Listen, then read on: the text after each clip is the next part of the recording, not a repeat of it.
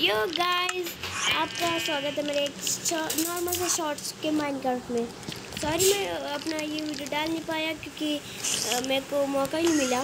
इसलिए, अगर आप चाहते हो कि मैं लॉन्ग वीडियो लाऊँ माइनक्राफ्ट का तो लाइक सब्सक्राइब करना मत भूलना.